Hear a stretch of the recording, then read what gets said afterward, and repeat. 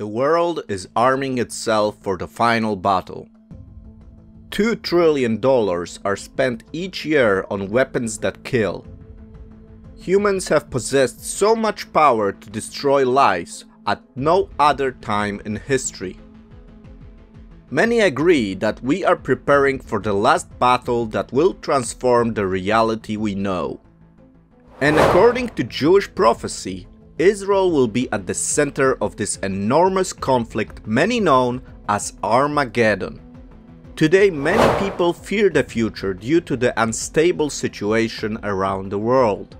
All you need to do today is turn on the news to understand that things are getting hectic around the world.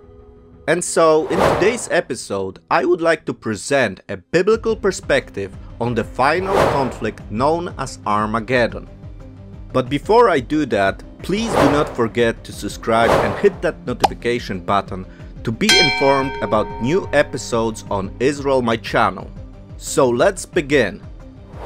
During this year's Jewish holiday of Hanukkah, the United Nations General Assembly approved a resolution voting 129 to 11 votes that disavowed Jewish ties to the Temple Mount and called it solely by its Muslim name of Al-Haram el-Sharif. 129 countries agreed that Jewish people have no connection to the Temple Mount and this site belongs exclusively to Muslims. Now I am not sure if that was done on purpose, but remember what Hanukkah is all about. It is a memory of the historical reclaiming of the temple by the Jewish people from the oppressing pagan rulers. Therefore, this UN resolution is a clear insult to all Jewish people. But to tell you the truth, this is nothing new. If not for the strong opposition from the United States, Israel would long ago be a target of aggression from almost every country in the world. Israel does not have many friends, and it seems that the big brother, which the United States have always been, is getting distracted and involved in other regions of the world. The US total and reckless evacuation from Afghanistan is a clear sign that their priorities have changed. Today, the Pacific is the key for the United States and not the Middle East as it once was. Israel is a tiny nation and does not have much land at all. If we look at the world map, you can hardly spot that country. Just look at this map. Israel is surrounded by huge countries with much larger populations and land than the Jewish nation. Also, remember that all the countries surrounding Israel are Muslim and have a common religion. Israel is the only country in Near East where Islam is not the majority religion. Since the creation of the Jewish state, Israel has been attacked many times by its neighbors. We have seen several military miracles that prevented the destruction of the resurrected to life nation. Of course, don't get me wrong, Israel is not a perfect nation, but everything needs a perspective. Why does the majority of humanity so hate this tiny nation? Is it that horrible? I would argue that no other country receives so much negative attention as Israel. No other people have been hated so universally and experienced multiple extermination attempts. All we need to do is look at history. Pharaoh in ancient Egypt, Haman in Persia, Antiochus IV Epiphanes of Greece, Tiberius of Rome, inquisitions and crusaders in the Christendom, pogroms of the Russian Empire, Hitler in Nazi Germany, Stalin in the Soviet Union, Al-Khamenei of Iran, United Nations and UNESCO are all examples of the ongoing hostility towards the Jewish people. And let me share with you something personal. Only in Israel and perhaps America do I feel safe to say that I am Jewish and not fear that someone will mistreat me? People may have answers to why the Jewish people are hated, but I promise to give you a biblical perspective, and so I will. The Bible is clear that Israel is God's chosen nation. In Deuteronomy 14:2 we read, For thou art an holy people unto the Lord thy God, and the Lord hath chosen thee to be a peculiar people unto himself, above all the nations that are upon the earth. Being chosen is a very controversial thing for the Jewish people. Actually, many Jewish people will joke that they wish that they were not chosen and would happily give that chosenness away if it would mean that it would spare them all the persecutions they receive. Whether you are Jewish or Christian, one thing we can agree on is that if we treat the scriptures in a literal way, the Messiah is coming to Israel. Christians believe it will be the second time. Most Jewish people think the first time. But if we analyze the biblical text, we will realize that Israel is chosen for an extraordinary mission given to them by God. The Jewish scriptures, the Bible, predicts that the Messiah will come from the Jewish people and restore humanity to the Edenic reality. This plan of restoration will, however, have significant opposition. The examples of anti-Semitism I shared with you witness this ancient hatred embedded in people's heart not belonging to God. According to the Jewish prophets, this conflict between the people of God and the nations will result in the final confrontation known as Armageddon.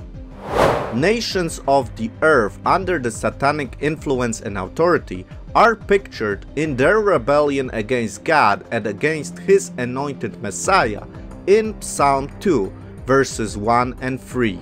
Why do the heathen rage, and the people imagine a vain thing? The kings of the earth set themselves, and the rulers take counsel together against the Lord and against his anointed, saying, Let us break their bands asunder, and cast away their cords from us. To bring judgment on these rebellious nations, they will be drawn into the land of Israel for judgment.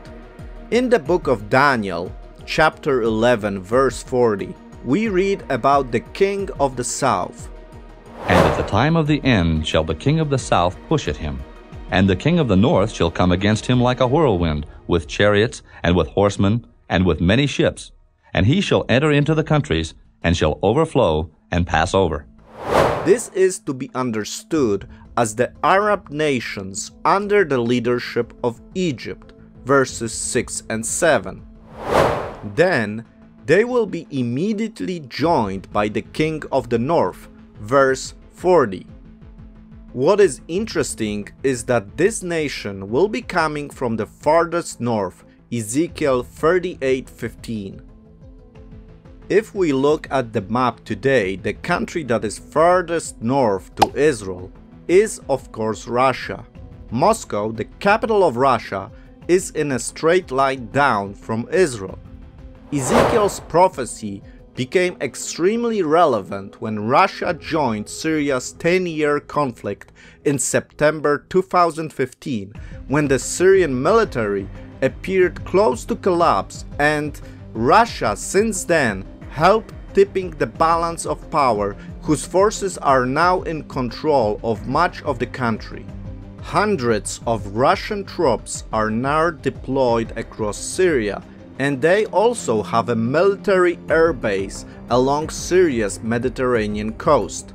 Syria, of course, is a dire enemy of Israel, and it is in Syria and Lebanon that Hezbollah is deploying thousands of rockets targeting the Jewish cities. Hezbollah, just to remind you, is a military group that is controlled by Iran, which in fact is the heir of the ancient Persian Empire. What is not clear yet is how Egypt will join the war against Israel, but despite the active peace treaty between Egypt and Israel, it is not a secret that the Egyptian government is no friend of the Jewish people. The initial confrontation will be horrible consequences because the land of Israel will be destroyed by the enemy's forces. We read that in Zechariah 13:8. And it shall come to pass that in all the land, saith the Lord, two parts therein shall be cut off and die, but the third shall be left therein.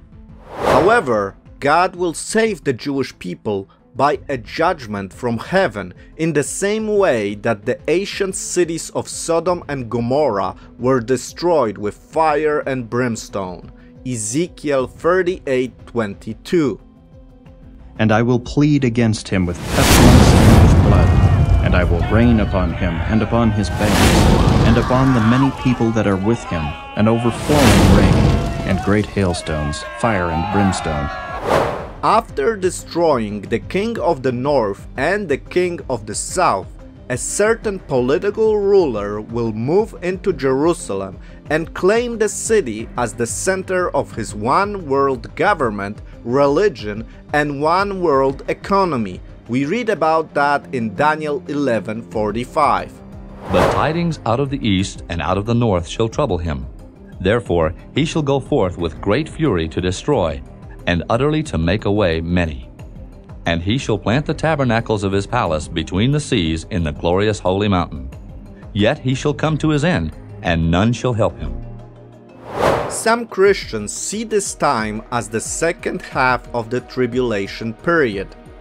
At the end of this horrific period of time, this ruler, which is identified by Christians as the Antichrist, will be joined by the kings from the east and gathered together to make war against the rider on the horse and his army.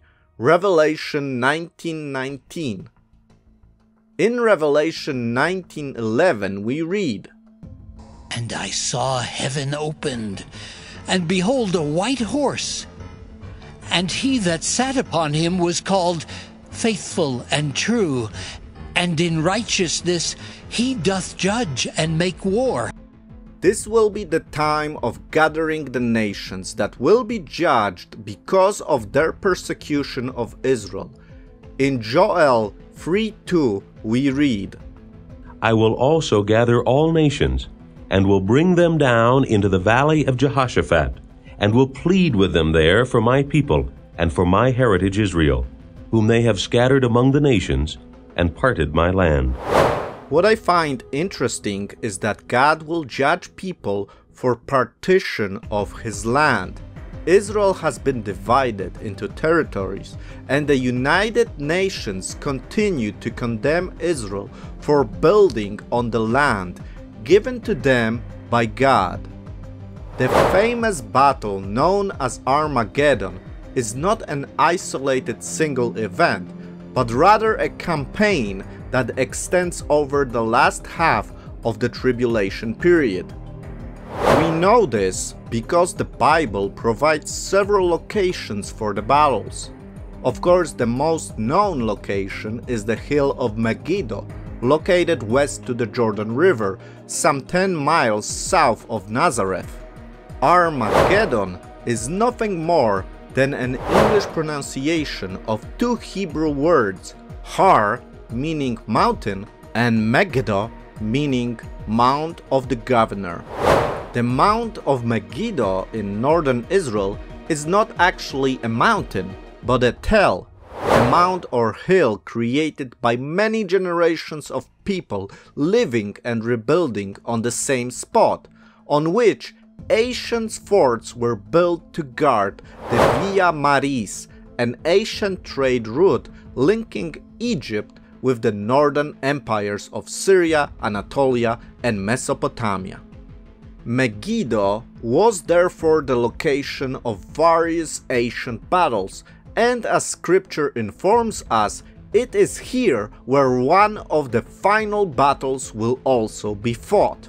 However, we also read that battles will be fought in the valley of Jehoshaphat, Joel 3:2, and the Valley of the Passengers, Ezekiel 39:11. Additionally, Isaiah 34 and 63 picture the Lord coming from Edom and Idumea, south of Jerusalem, when he returns from the judgment. In fact, Jerusalem itself is seen as the center of the conflict in Zechariah 12 and 14. The many battles are in agreement with the words of Ezekiel, who says that the invaders will cover the land. Ezekiel 38 9 and 16. The campaign against Israel ends when the Son of Man, the promised Messiah, appears as the rider on a white horse in the heavens, claiming his victory over opposition towards God and his chosen people. The famous scene from The Lord of the Rings, The Two Towers, certainly was inspired by the description in Revelation 1911. In a similar matter, the evil forces represented in Tolkien's saga as orcs are destroyed. This time will be a crucial point for human history, where the promised Messiah will come in the darkest hour to save his people and usher in the kingdom of God on earth. Finally, Israel will have a king who will be just and transform Jerusalem into an international center where people will pilgrim to worship the only true God. But that's a story for another episode. In the meantime, if you found this video helpful, please do not forget to subscribe and hit that notification button to be informed about new episodes on Israel My Channel. You can also support this channel by clicking the join button on the main page of Israel My Channel. Thank you for watching and see you next time. Shalom.